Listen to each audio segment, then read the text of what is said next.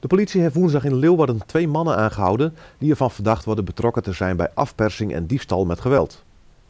Vorige week werden ook twee aanhoudingen verricht in dit onderzoek naar afpersing na contact via datingsites. De politie denkt met de aanhouding van het viertal alle verdachten in beeld te hebben. De woensdag aangehouden mannen zijn 38 en 45 jaar en komen uit Leeuwarden.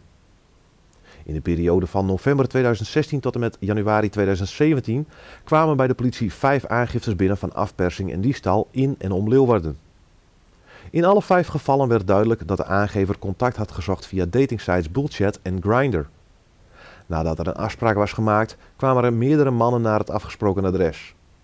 Vervolgens werden de slachtoffers gedwongen om een geldbedrag af te geven en werden er goederen weggenomen uit de woning. Naast de aanhoudingen van de vier personen kwamen afgelopen dagen twee nieuwe aangiftes binnen. Daarmee komt het aantal aangiftes in deze zaak op zeven. Mogelijk zijn er meerdere mensen die tot op heden geen aangifte hebben gedaan bij de politie, maar wel slachtoffer zijn geworden van soortgelijke incidenten. De politie komt graag met hen in contact via 0900 8844 of 0800 7000.